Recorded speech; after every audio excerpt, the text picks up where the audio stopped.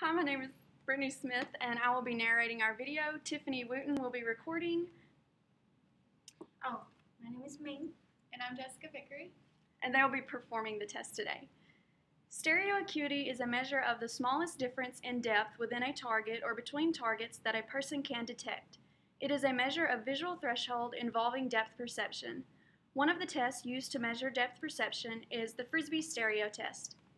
The test is a four alternative forced choice test in which the patient must choose which box they see the stimulus in. The Frisby test can be used to measure a person's visual psychophysics because the person has to tell when they see the image in a different plane. Different people can detect different levels of disparity, which is recorded in seconds of arc. The Frisby stereo test is used to measure stereopsis in a range of 600 to 15 seconds without the need for special glasses. The Frisby test has three transparent plates that have different thicknesses, which allows each of the plates to present different sizes of disparity, which is how it can measure the stereo acuity of the observer. These plates can be presented at varying distances to change the disparity. In this video, we are going to demonstrate how to perform the Frisby stereo test. We are going to use the 3 millimeter thick test plate held at 9 different viewing distances. We will do 10 trials for each distance and record the results to determine the person's threshold. We will display the results on a graph and determine the person's disparity. Now Min and Jessica will perform the test.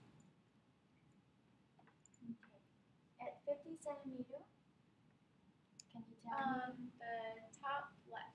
Very good, she got it. Very good. How about now? The bottom right. Very good, she got it.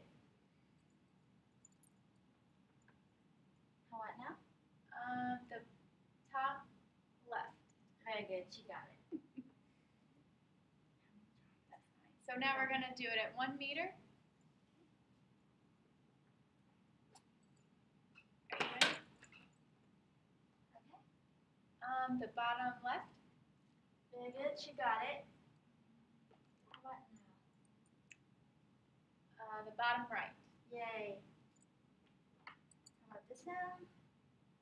The top right. So we would do um, 10 trials at the nine different test distances for that. Um, so after we completed all of the trials, we graphed our results. Oops, sorry. And this is a graph of our results. So we can see that on the x-axis we have the distance in centimeters, and on the y-axis we have the percent correct. And the guess rate for this test is going to be 25% since it's fourth choice with um, four alternatives. So um, taking off the 25%, if we go in between um, what's left, that gives us 62.5%.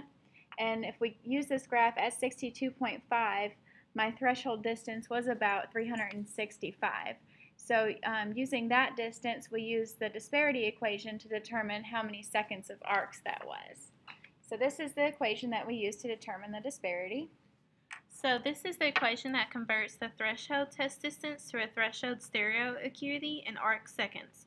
Disparity equals a constant times the PD in centimeters times the plate thickness that was used in centimeters divided by a constant multiplied times the test distance in centimeters squared.